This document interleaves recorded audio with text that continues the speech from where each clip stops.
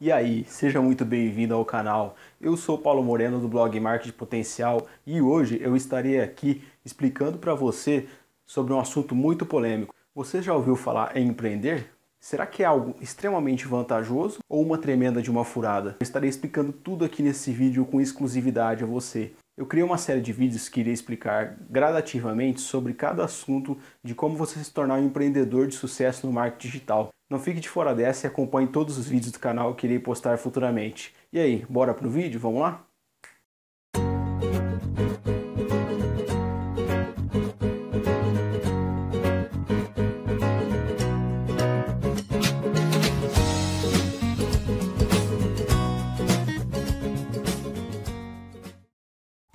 Se você ainda não é inscrito no canal, inscreva-se e ative o sininho das notificações para receber os vídeos que eu posto aqui em primeira mão com total exclusividade. Bom, primeiramente eu queria retratar o que passa na cabeça de muitas pessoas sobre o assunto empreender. Na verdade, empreender na cabeça de muitas pessoas se trata como algo de liderar pessoas, ser um chefe chato, visar apenas o dinheiro ou ter uma empresa física, uma fábrica ou qualquer outro tipo de empreendimento sólido. Mas verdadeiramente pensando fora dos padrões, pensando fora da caixa, o empreendedor é aquele que soluciona problemas, é aquele que parte para ação, que cria novas coisas. E o principal de tudo, que enxerga aquilo que ninguém vê. Isso que é um empreendedor de verdade. Bom, e como exemplo de grandes empreendedores, não podia deixar de citar Steve Jobs, criador da Apple. Ele foi responsável por criar o primeiro iPhone. O iPhone foi uma revolução criada em 2007 e foi realmente um alvoroço no mundo. Antigamente não se tinha uma experiência com smartphones igual nós temos atualmente. E realmente Steve Jobs com a Apple e a criação de computadores e smartphones foi uma grande inovação, uma grande surpresa. Eu também não podia deixar de citar Mark Zuckerberg.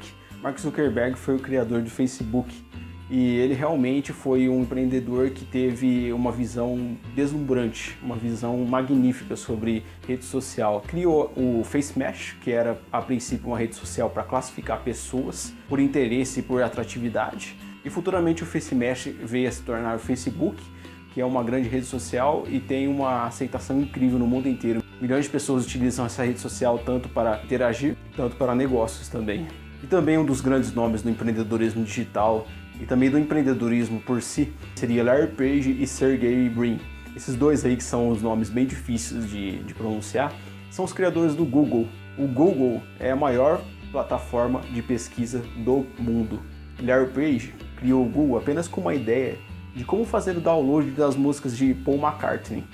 Ele se viu através de uma necessidade a criar uma ferramenta de pesquisas para poder fazer o download das músicas e daí surgiu a maior ferramenta de pesquisa do mundo, Agora vem a pergunta, o pulo do gato.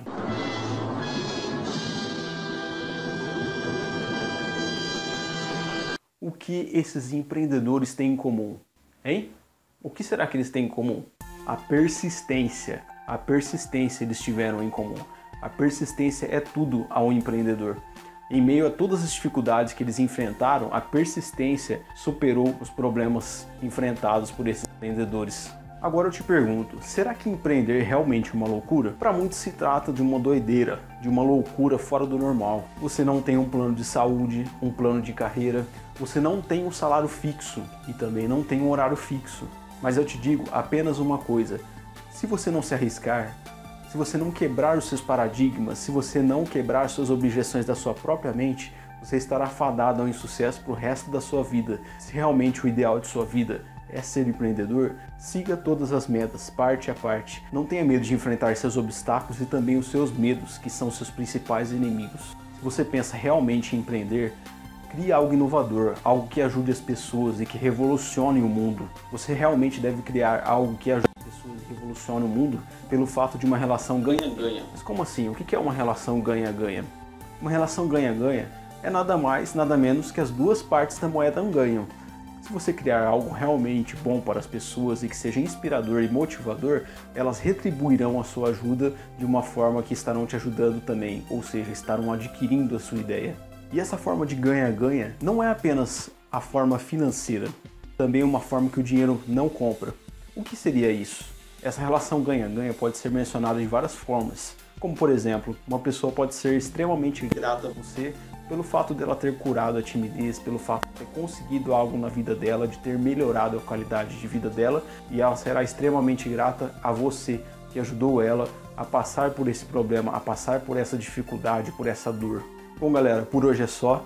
Essa é uma série de vídeos que eu estou criando com o objetivo de inspirar você a como ser um empreendedor de sucesso no marketing digital. E no próximo vídeo eu irei explicar um pouquinho para você sobre o que é o marketing digital, o que seria esse mundo tão virtual e tão inspirador de negócios. E se você realmente gostou desse vídeo, deixe seu joinha, vai lá, tasca o dedo nesse like, sem medo de ser feliz.